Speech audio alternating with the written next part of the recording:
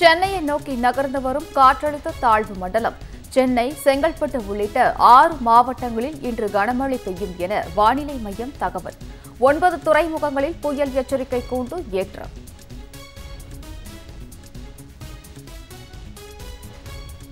பழம்பெரும் திரைப்பட வசனகர்த்தா ஆரூர் தாஸ் காலமானார். முதலமைச்சர் மு க ஸ்டாலின் இரங்கல்.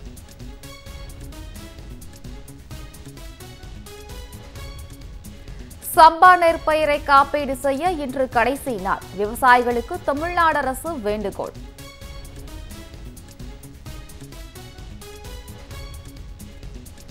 ஒன்றிய அரசின் விவசாயிகளுக்கான நிதி உதவி திட்ட பயனாளிகளின் எண்ணிக்கை அறுபத்தேழு சதவீதமாக குறைப்பு. தகவல் அறியும் உரிமை சட்டத்தில் அம்பலம்.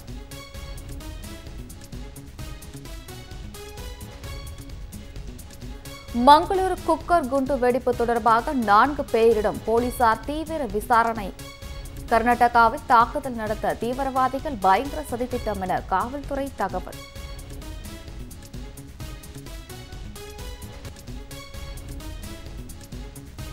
சூடு பிடிக்கும் குஜராத் சட்டமன்ற தேர்தல் களம் சூரத் ராஜ்கோட் உள்ளிட்ட பகுதிகளில் ராகுல் காந்தி இன்று பிரச்சாரம்.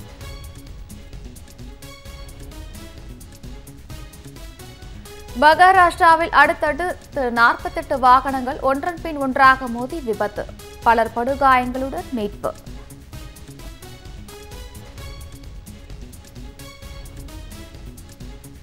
பீகாரில் கட்டுப்பாட்டை இழந்து தாறுமாறாக ஓடிய லாரி.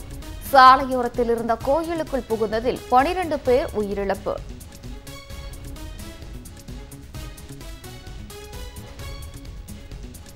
கூடலூர் அருகே சுற்றித் திரியும் காட்டு யானையை வனப்பகுதிக்குள் விரட்டும் பணி தீவிரம். முதுமலை புலிகள் காப்பகத்திலிருந்து கும்கி யானை வரவழைப்பு.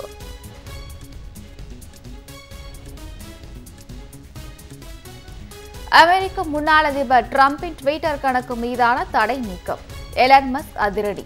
மீண்டும் ட்விட்டருக்கு திரும்பும் எண்ணம் இல்லை என்று ட்ரம்ப் உறுதி.